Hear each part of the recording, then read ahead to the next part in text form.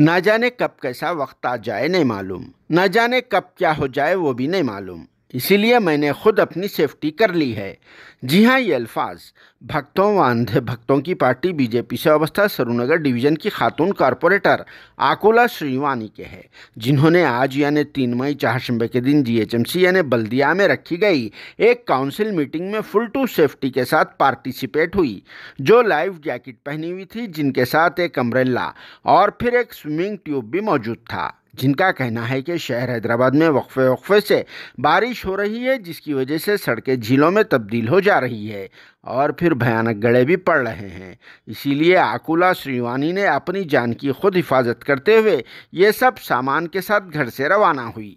इसके अलावा आग लगने के हादसा भी पेश आ रहे हैं, इसीलिए भी इन्होंने आग पर काबू पाने के लिए एक छोटे बच्चे को भी बगल में दबा लिया, जिनका ये इकदाम अब तक के सबसे अलग देखा गया है, क्योंकि किसी भी कॉरपोरेटर ने यह काम करके गवर्नमेंट पर तनखीद नहीं की थी।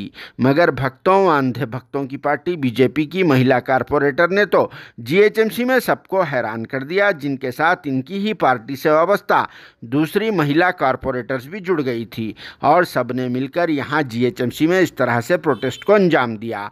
और इस मौके पर आकुला श्रीवानी ने म्यूनसिपल मिनिस्टर केटीआर और फिर खातून मेयर गदवाल विजयलक्ष्मी से अपील की है कि जीएचएमसी हदूद में मौजूदा तमाम कॉरपोरेटर्स को सेफ्टी के लिए इस तरह से किट्स प्रोवाइड करें तो बहुत ही अच्छा रहेगा जिस पर आप सबका क्या कहना है कमेंट बॉक्स में ज़रूर जवाब देना రోజు జిహెచ్ఎంసీ కౌన్సిల్ మీటింగ్కి మేమందరం ఇక్కడికి రావడం జరిగింది ఇంట్లో నుంచి బయలుదేరంగానే వర్షం సూచనలు ఉన్నాయని చెప్పి ఒక గొడుగు చేతిలో పట్టుకుంటే మా ఇంట్లో వాళ్ళు అన్నారు ఇప్పుడు హైదరాబాద్లో పడే వర్షానికి గొడుగు సరిపోదు లైఫ్ జాకెట్ ట్యూబ్ ఇవన్నీ పట్టుకపో ప్రాణాలకి హామీ ఉంది. ఎక్కడ ఏ ప్రాణం పోతుందో తెలియట్లేదు అని చెప్పి నాకు ఇవన్నీ ఇచ్చి పంపించారు. అలాగే దాంతో పాటుగా కేటీఆర్ గారికి మేయర్ గారికి విజ్ఞప్తి చేయమన్నారు. నాలాలు అవి అన్ని ప్రాణ అన్ని ప్రాణ హామీలు ఎక్కడెక్కడ ఉన్నాయో అవన్నీ మంచి చేయాలి. పెండింగ్ పనులు అన్ని పూర్తి చేయండి. లేదంటే ప్రతి ఒక్క కుటుంబానికి సేఫ్టీ కిట్ ఇవ్వండి అని చెప్పి విజ్ఞప్తి చేయమన్నారు. కాబట్టి ఈ రోజు నేను ఇలా రావడం జరిగింది.